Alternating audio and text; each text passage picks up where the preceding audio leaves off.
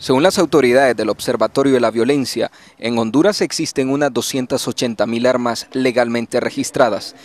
Tal cantidad de armas en poder de los ciudadanos y la facilidad con que se puedan adquirir contribuyen a que Honduras tenga la tasa de homicidios más alta del mundo.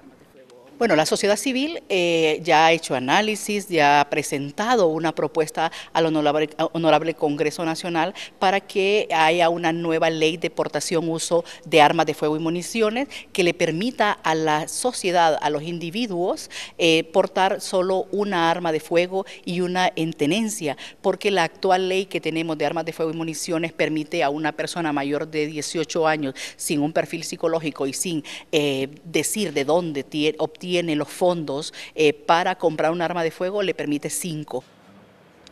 Si a las armas legalmente inscritas se suman las que se obtienen en el mercado negro y que proceden de México y Estados Unidos, el Observatorio de la Violencia calcula que en Honduras existirían unas 600.000 armas ilegales el acceso, eh, la fácil tenencia, el tráfico ilícito de armas de fuego que vienen de, del Norteamérica hacia Centroamérica, hace que eh, a mayor eh, tenencia de armas, mayor violencia. Eso es una condición sine qua non.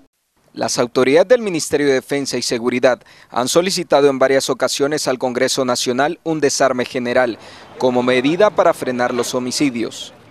Que este problema es de todos, no solo es de la policía, no solo es de las Fuerzas Armadas, no solo es de la Fiscalía, no solo es de los entes del Estado.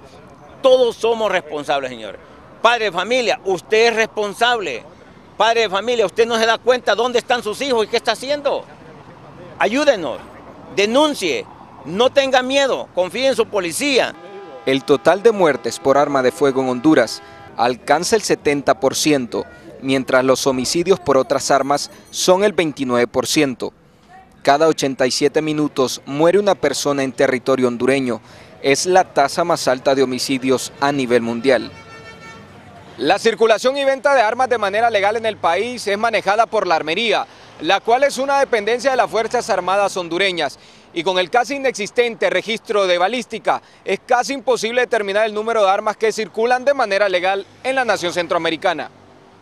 En Tegucigalpa, Honduras, Dazaeva Aguilar, CB24 Noticias.